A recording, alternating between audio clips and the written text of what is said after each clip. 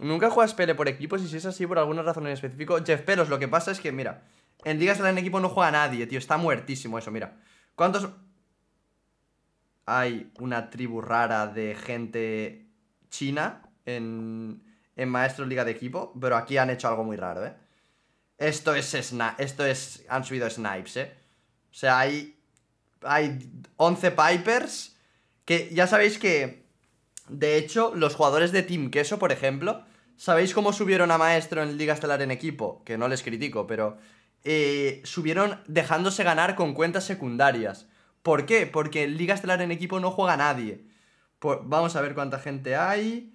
Hay 29 maestros en todo el mundo en Liga HDP. Javi, ¿es verdad o no? Reconócelo. Que no pasa nada tampoco. Pero reconócelo. Y en, España no hay ni uno, ¿sabes? En cambio, si vamos a solitario, pues miren qué cambio, ¿no? En el mundo hay... Eh, hay, pues eso, hay 200... 215.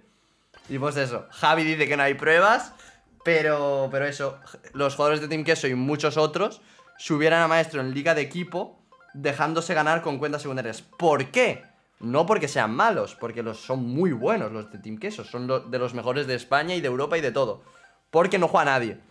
Entonces, para esperar una hora sin exagerar para que te encuentre una partida, pues hicieron ahí la ratilla y subieron a maestro. El 99,9% de Masters en Team son con snipes, pues lo que dice Eric, ¿no? Por eso nadie juega a ese modo. Pero si estuviera activo sería la hostia, pero claro, como tienes que buscar a equipo, no sé qué, no sé cuánto, pues la gente acaba jugando en solitario y ya está.